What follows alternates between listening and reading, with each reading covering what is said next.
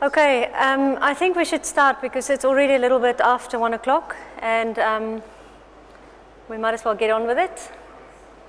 So um, this, this workshop is about muscle injuries and we really want to make sure that this is a practical workshop rather than a, a lecture series. So um, we've assimilated a group of people who are going to talk about the practicalities of muscle injuries and I have to explain what this is all about for us. At Aspetar, we have a strong belief in teamwork. So we don't just work in isolated departments. We have a commitment to evidence-based medicine. So we want to do clinically relevant research which is going to determine how we treat our patients. And we have a particular interest in muscle injuries because they're some of the most important injuries in sport, particularly football, but also handball. It can result in significant time loss, the treatment is usually conservative. There's only very, very few instances where you need surgery for a muscle injury. And of course, there are many popular but completely unproven treatments out there. So we've, we've had several multidisciplinary, clinically relevant research projects um, on muscle injuries in Aspetar. And the most important recent project was the one on hamstrings, specifically the use of PRP in the management of hamstring injury but also looking at rehabilitation protocols and the role of the MR scan in determining the return to sport. So the program for today, I'm going to switch it around a little bit. So we're actually going to start with epidemiology first, and that would be Dr. Cristiano Eirale. Then we'll do classification of muscle injuries, and that proves uh, that, that promises to be quite controversial. Bruce has to, uh, promised to make it an interesting talk. Uh, then we'll talk about the value of MR scanning and hamstring uh, muscle injuries.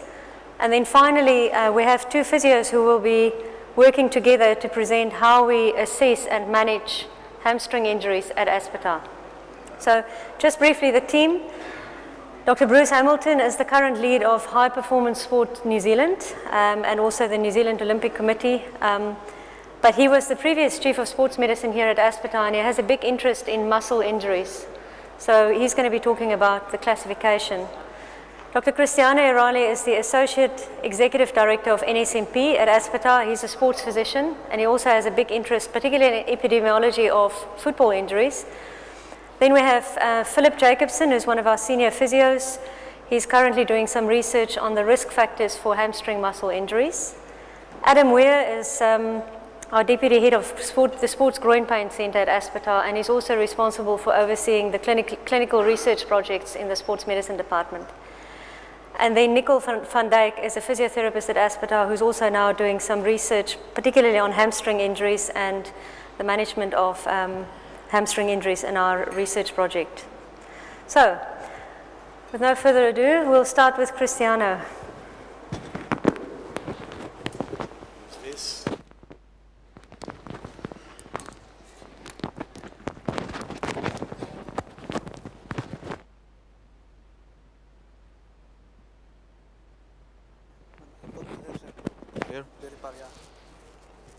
Good. Okay, good morning, every, good afternoon, everybody. Epidemiology muscle injury.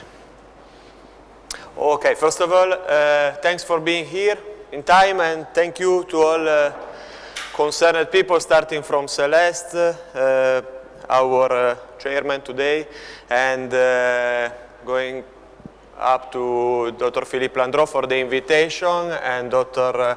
Nebojsa Popovic. Uh, I will not make the mistake to forget to thank uh, Dr. Hakim Chalabi and Dr. Khalifa, of course.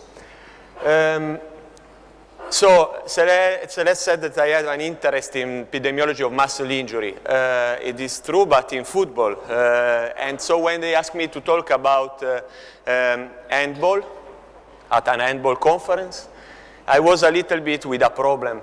And uh, so I was uh, reviewing how to prepare this. And uh, history and personal experience can be a uh, an idea, but in reality, uh, I had some story from our CMO for Dr. Popovic, but it was not enough to base the presentation on this.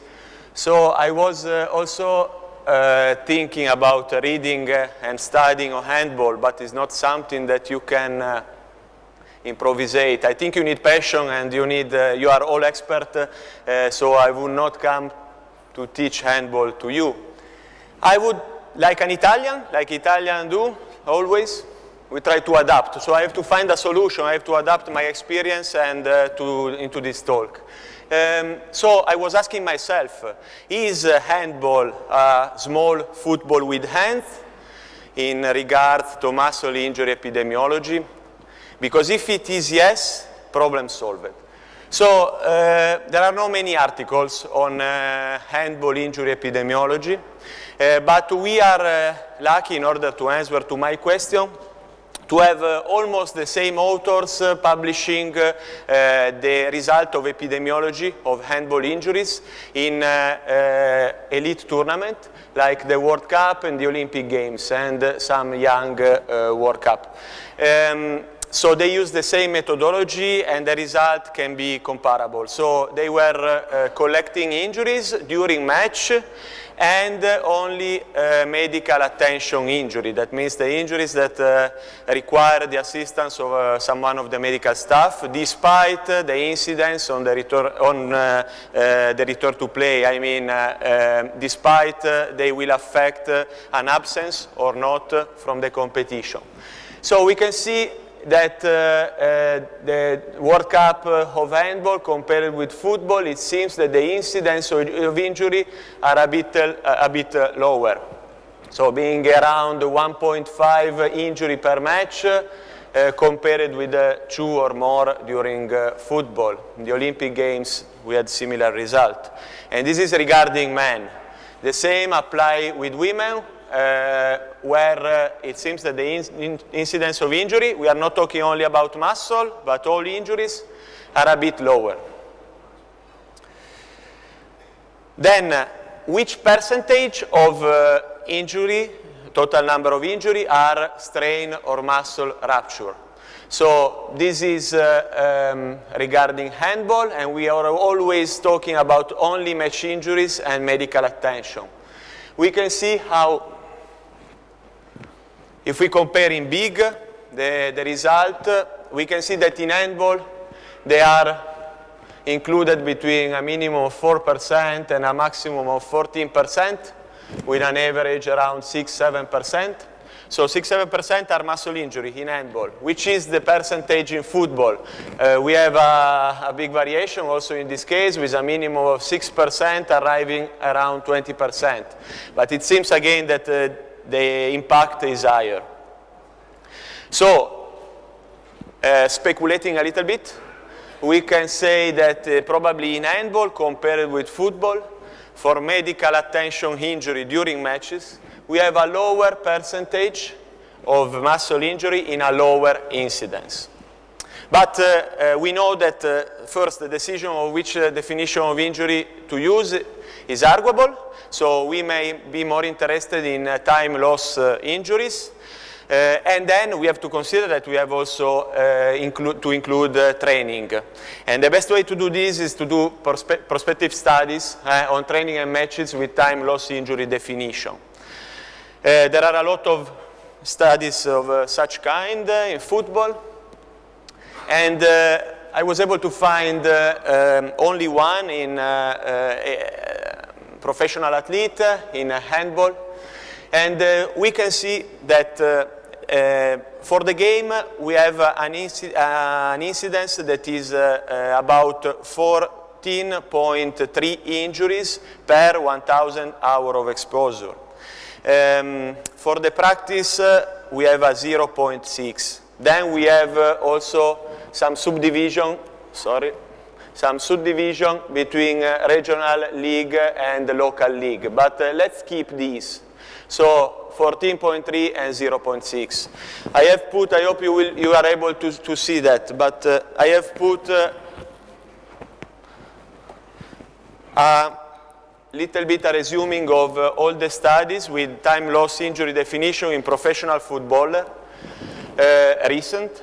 And we can see that during match, we have an incidence that is variable a lot, but you can see that we reach 44%, uh, 48, uh, and it seems that most of the study show an incidence more than 20 injuries per 1,000 hour of exposure.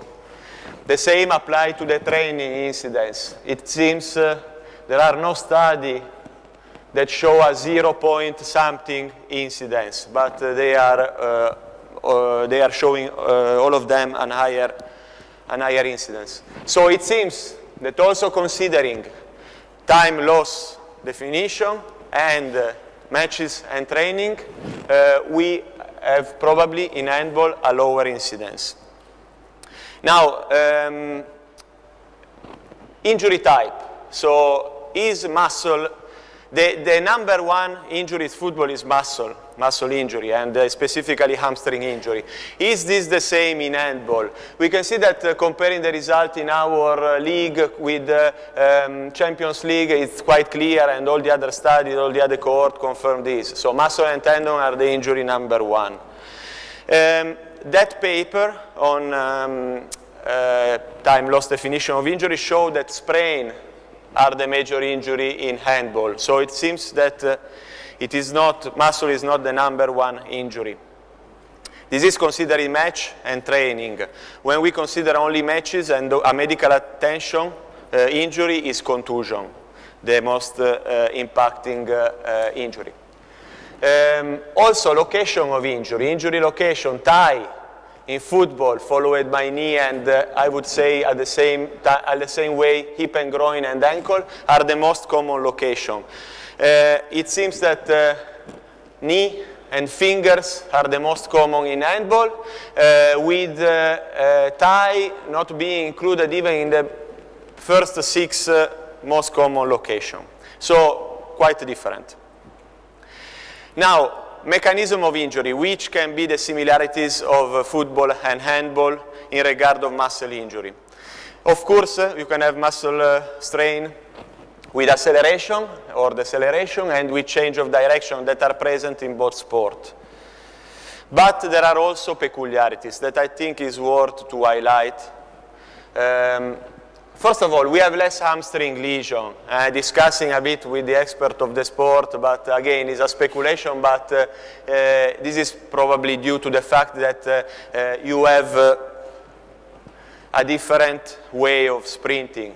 you can see the result from Prozone, short sprint, you never reach a certain speed, you never reach a certain length, so probably all the mechanisms that are behind uh, hamstring strain in football are not uh, in handball. Then uh, we have much more muscle direct trauma in handball.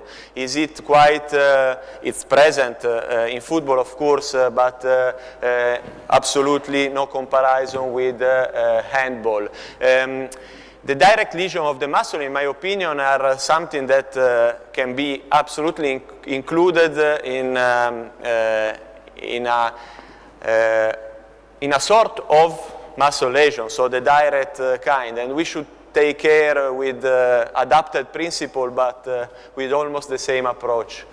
Um, peculiarities, of course, upper body lesion in football, except the goalkeeper, um, are more rare. And if uh, they are present, they don't uh, normally impact uh, the ability to play. So they are not often counted in time loss definition of injury epidemiological studies. Uh, this is not the same in handball, as you can imagine, where pectoralis, abdominal muscle, for example, are included. And then um, the goalkeeper, probably there is a peculiar mechanism that is not present in football. Uh, it's difficult to have a stretching type uh, uh, hamstring lesion uh, that are present in other, in other sport, uh, of course, like the dancing. Um, so, in conclusion, the muscle injury are, seems to be less in handball than in football, both in medical attention and time loss injury definition approaches. It is not so the number one lesion in uh, handball.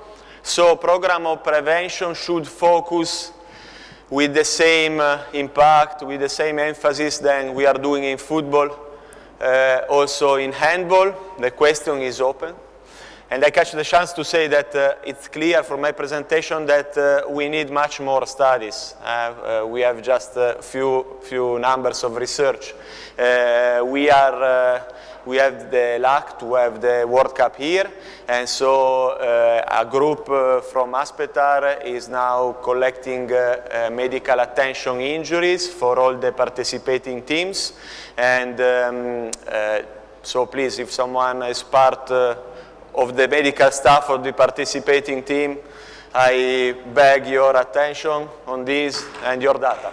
And then direct trauma and stretching type lesion are typical of handball, so prevention program should be tailored also in this way. And uh, so the answer probably to my question is, uh, is no. Um, so probably once we will have more data, we'll come in a few years to do another talk uh, specifically on, um, on handball. I'm not expert enough at the moment. I thank you very much for your attention. I wanted to ask my dear colleague and friend Cristiano regarding your conclusions. I, we could point out that uh, the direct injuries uh, in handball are like more common. So is there any uh, specific point that we should uh, take into consideration regarding the prognosis or the treatment? Because generally we are more used to treating the, the indirect traumas.